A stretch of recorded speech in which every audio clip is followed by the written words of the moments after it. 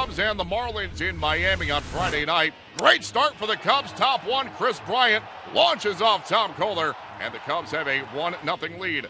Two batters later, man aboard for Willson Contreras, already his third big league home run, part of a four run inning for the Cubs. They're off and running, but the Marlins respond in kind in their half of the first.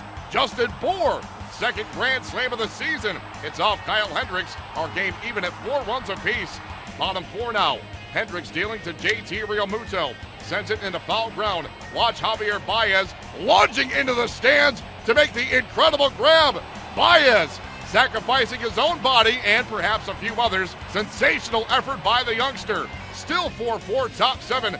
Two men aboard for Contreras. This kid is something. Tie breaking Ribby single. That was the difference here.